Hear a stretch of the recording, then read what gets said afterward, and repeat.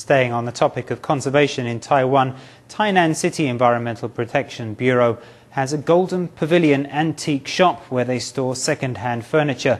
The sanitary team use their creativity to fix up unwanted furniture thrown away by members of the public and turn it into something useful again. The results are then sold for a very cheap price, so you can save money and save the planet at the same time. These rattan chairs originally cost more than 30 US dollars each, but now they are on sale for only 2 US dollars, making it a great bargain. Someone threw them away. We think they're still usable, so we recycle them.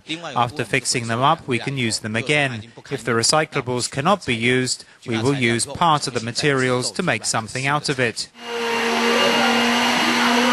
Here at Tainan's Environmental Protection Bureau, the sanitary team members have become carpenters not only giving old and unwanted furniture a new look, but for the furniture that has historical meaning, the government authority even keeps them for collection purposes.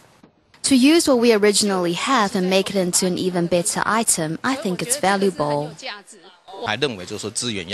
Sustainable resources can be reused. Members of the public can also bring broken items, and we will fix them up for a real cheap price. With creativity and some skills, what seems broken can be fixed and reused, making resources both sustainable and recyclable.